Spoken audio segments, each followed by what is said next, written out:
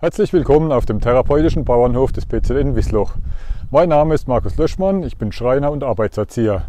Das ist meine Kollegin, die Sabine Palm von Beruf Heilerziehungspflegerin. Kommt rein!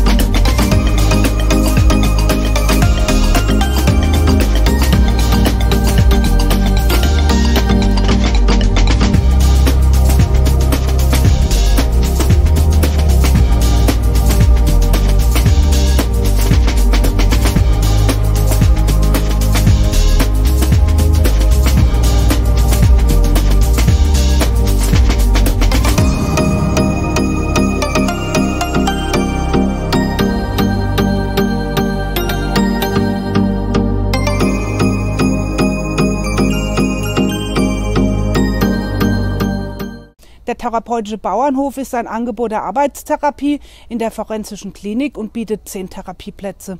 Es gibt vielfältige landwirtschaftliche, hauswirtschaftliche und handwerkliche Aufgaben.